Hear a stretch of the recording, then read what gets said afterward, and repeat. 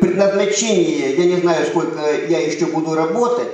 но, в общем, предназначение такое, как это не, может быть, не банально сейчас звучит, но я должен, я свои, считаю своим долгом, я должен отдать все, все свои знания, которые я получил в этих трех учебных заведениях, отдать детям. Потому что именно таким образом мы будем продолжать э, совершенствоваться, мы будем продолжать и укреплять наше украинское профессиональное музыкальное и певческое мастерство.